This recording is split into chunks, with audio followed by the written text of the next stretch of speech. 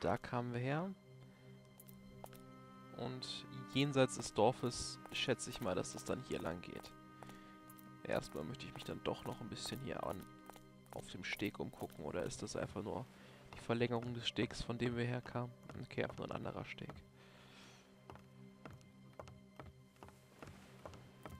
Und überall wieder dieses, diese seltsamen Symbole. Ob die wirklich alle so tierische Angst vor Geistern oder vor, der, vor dieser angeblichen Hexe haben? Ich weiß es nicht. Es kommt auf jeden Fall nicht ganz geheuer. Kommt, es kommt mir auf jeden Fall nicht ganz geheuer vor. Also ich muss ja aber sagen, es ist eigentlich ein schönes kleines Städtchen. Wollen die vielleicht mit mir reden? Ich habe euch nichts zu sagen. Die Dame vielleicht?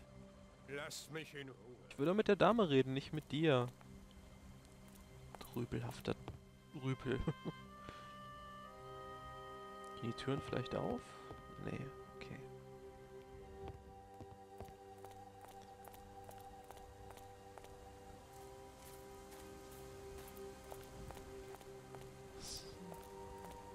Ach, das, da geht's einfach zum Haus. Ich dachte, da wäre ein Friedhof oder sowas.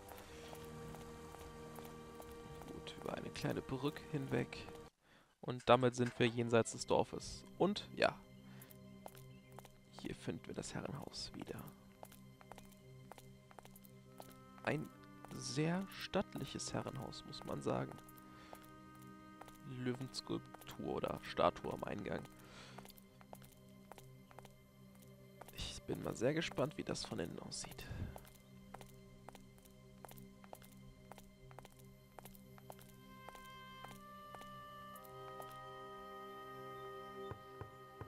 Hoffentlich bin ich nicht für den Rest der Nacht ausgesperrt. Eine Türglocke.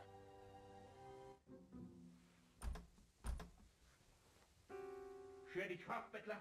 Es ist spät. Bring mich nicht dazu, den Koch aufzuwecken. Guten Abend. Ich bin Amadei Finveniro, Ermittlungsbeamter seiner Majestät. Ich bin hierher gekommen, um den Tod von Patrick Wyndham zu untersuchen. Oh, guten Abend, Sir. Willkommen im Hause von Baron Arthur Windham.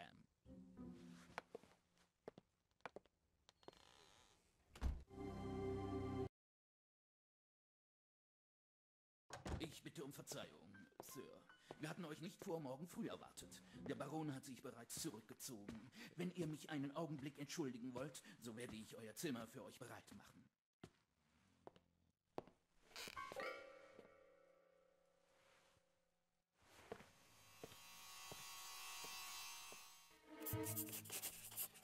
Sehr ungewöhnlich.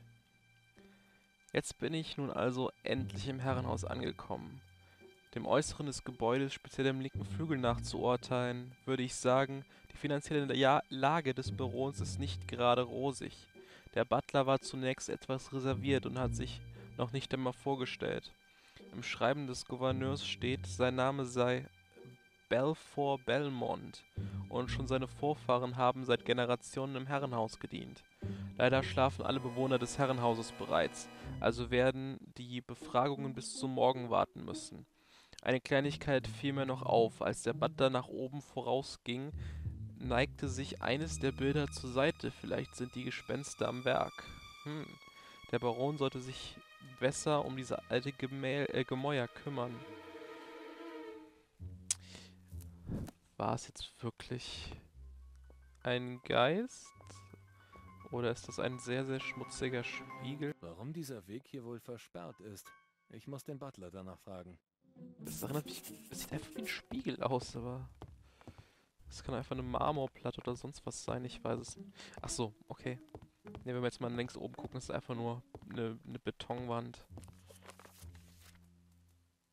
Ich habe Schritte hinter der versiegelten Tür gehört. Schritte, interessant. Es wird immer, immer seltsamer, was hier in diesem Haus vorgeht. Hm, wo sind wir denn hier gelandet?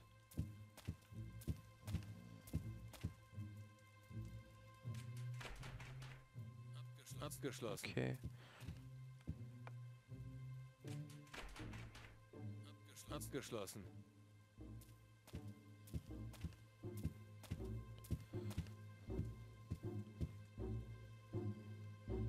Okay, hier kommen wir rein. Das scheint die Küche zu sein. Okay. Scheint aber niemand wirklich drin zu sein. Ja, wahrscheinlich schläft der Ich bin Koch nicht schon.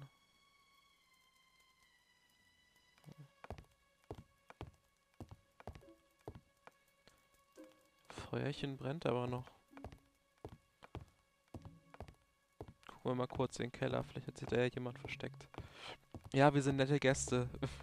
Außer dem Butler sehen wir niemanden, aber gucken uns schon im Haus um. Gerade wenn die Leute schlafen, hat man sich end hat man endlich mal die Chance, sich umzugucken. Was haben wir denn da? Eine Flasche. Was für ein merkwürdiger Geruch. Im Keller habe ich eine seltsame Substanz mit einem ganz eigenartigen Geruch gefunden. Okay, ja zum Kochen. Ist das schon ein bisschen seltsam. Riecht er jetzt nur da dran oder kann er die mitnehmen? Was für ein merkwürdiger Geruch. Okay, er bemerkt nur, dass der Geruch komisch ist. Vielleicht müssen wir den Geruch irgendwann wiedererkennen in irgendeinem Zusammenhang.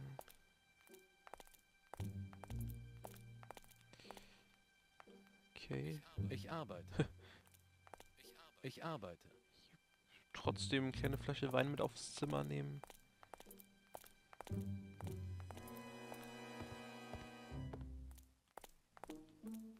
Große Eichenfässer. Ich arbeite. Ja, ja, ist ja gut.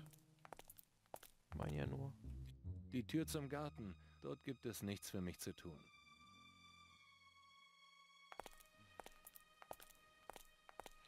Der will hier aber nur greifen und sich zum Beispiel auch nichts angucken. Verstehe ich nicht ganz.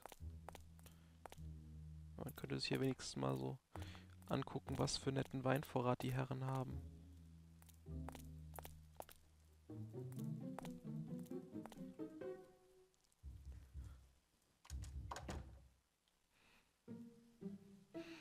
Ja, ich denke mal, dass alle anderen Türen, auf die wir jetzt stoßen werden, schon verschlossen sind. Ist, da wird wahrscheinlich das Gemach des Kochs sein.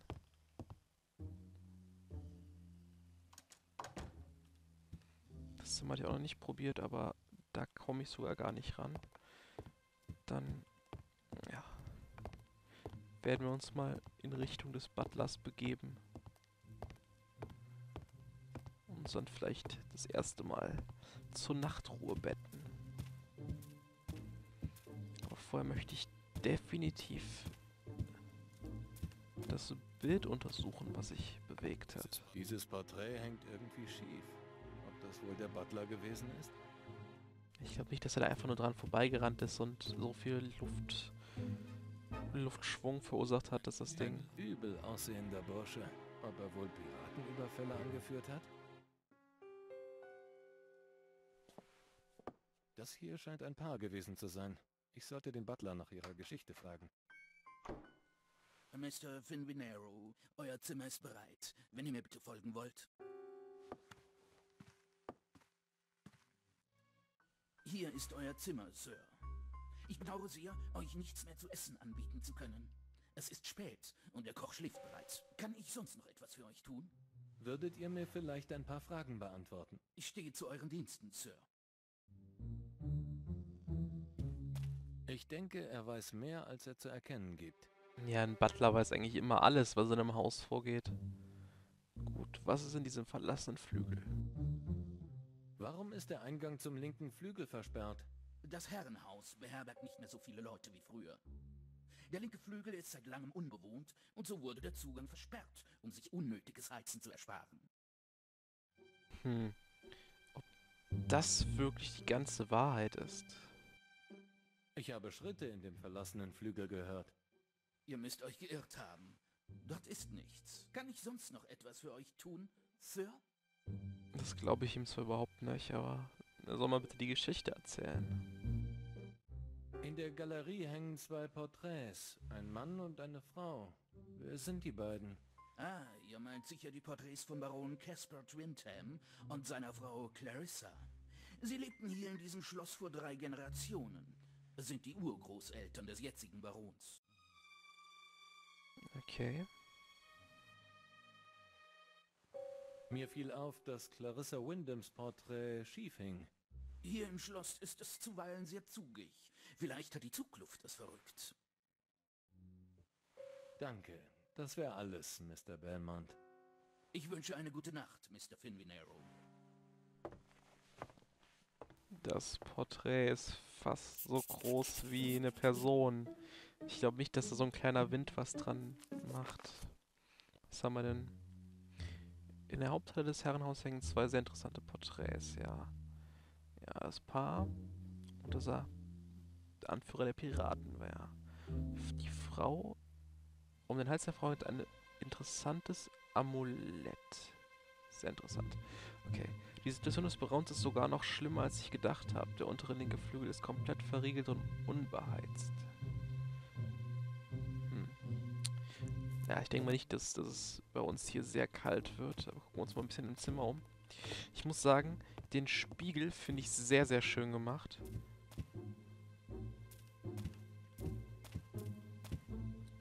Okay, hier haben wir... Da ist das Bett. Aber schlafen gehen wollen wir noch nicht.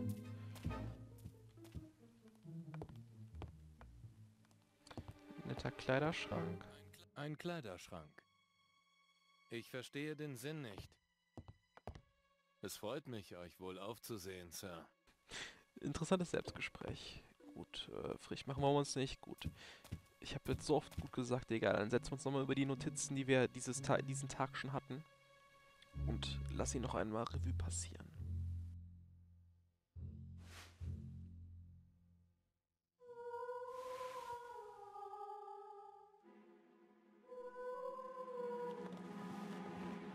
Nein, Mr. Belmont. Ich weiß, was ich gesehen habe.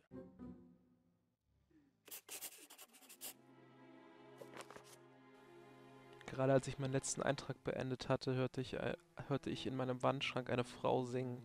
Ich frage mich, ob dieser Flügel wirklich ganz abgeriegelt ist. Ich habe einmal von einem Anwesen gehört, dessen Besitzer seine geheim gehaltene Ehefrau auf dem Dachboden eingesperrt hielt, um in einem eiskalten Bett zu schlafen. Bin ich noch nicht müde genug. Um in einem eiskalten Bett zu schlafen, bin ich noch nicht müde genug. Ich werde mich noch etwas umsehen. Tja, ist jetzt die Frage. Gibt es wirklich Geister in diesem Schloss oder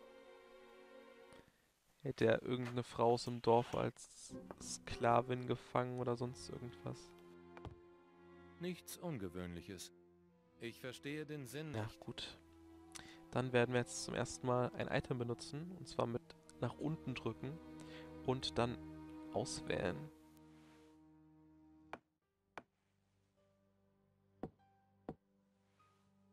Ein Wandschrank mit einem Geheimnis. So ganz blind ist es ist an dieser Stelle natürlich nicht. Ich kenne das Spiel bis zu einem gewissen Punkt. Aber sehr weit jetzt auch nicht. Deshalb. Was finden wir da? Sieht aus wie ein Vorhängeschloss. Okay, wir haben drei, äh, vier verschiedene Symbole, die man drehen kann. Okay.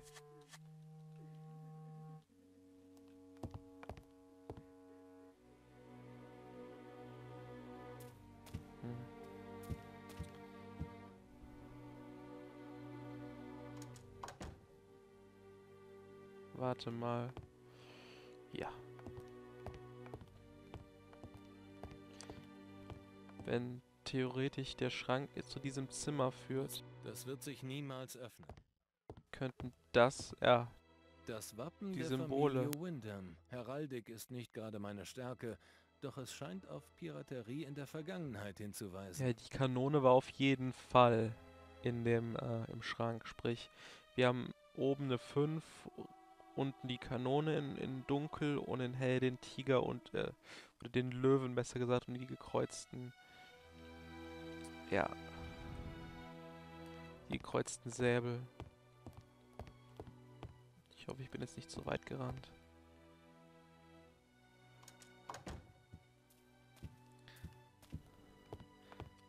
Bin ich mir jetzt gespannt. So. Unten war die Kanone.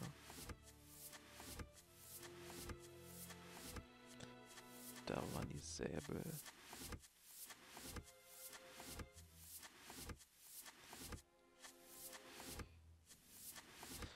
fällt gerade einfach nicht mehr der Name ein, wie, diese, wie dieses Symbol heißt. Interessant, eine Geheimtür. Gerade als ich mein... Naja, nächste Seite. Führt ein Geheimgang durch meinen Wandschrank in den kleinen Flügel. Klingt beinahe wie ein Satz aus einem Abenteuerroman. Ja. Und was wir in diesem Flügel finden werden, seht ihr im nächsten Part. ciao, ciao.